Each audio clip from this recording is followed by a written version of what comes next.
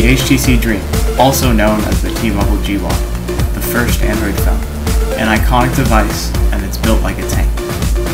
Today we're here to show you what many doubted would ever be possible, but the hopeful always believed would come true. Jelly Bean, Android 4.1, running on this autographed G1.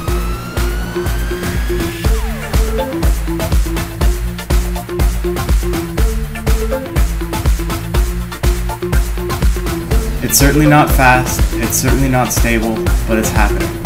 This early port of CyanogenMod 10 is up and running on the G1. You can download a pre-alpha from our thread on XDA, and please stay tuned for more updates from the SoCal Devs team. This probably won't ever be a daily driver, but why not dust off the old G1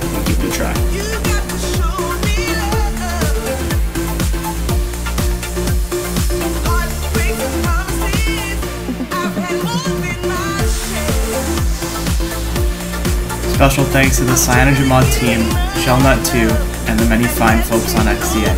Without their work, we never could have done it.